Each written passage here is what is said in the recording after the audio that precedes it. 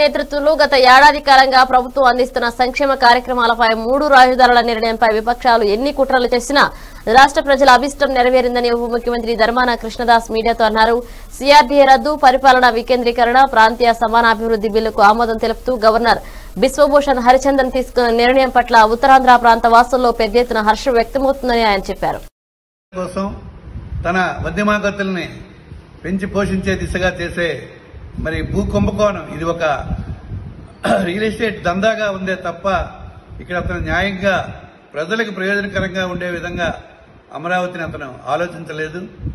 ప్రపంచంలో రెండు వేల ఇరవై ఒక గొప్ప రాజధాని నిర్మాణం చేస్తామంటాడే తప్ప అసలు ఇప్పుడున్నటువంటి అవకాశాలు ఏంటి ఆ ప్రాంతంలో ఎంత త్వరితగతిన మరి మనకున్నటువంటి ఆర్థిక వెసులుబాటుతో పాటు మరి రాజధాని నిర్మాణం సాధ్యమా?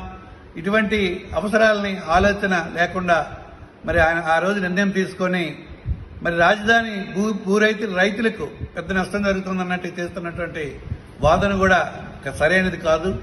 ఖచ్చితంగా రాజధాని రైతులకి ఈ ప్రభుత్వం న్యాయం చేస్తుంది. అలాగే విజయవాడని కూడా మరి ఆధునీకరించాలని మొన్ననే ప్రీతం ముఖ్యమంత్రి గారు మరి అంబేద్కర్ విగ్రహాన్ని మరి ఉన్నతంగా ఇక్కడ స్థాపించాలి.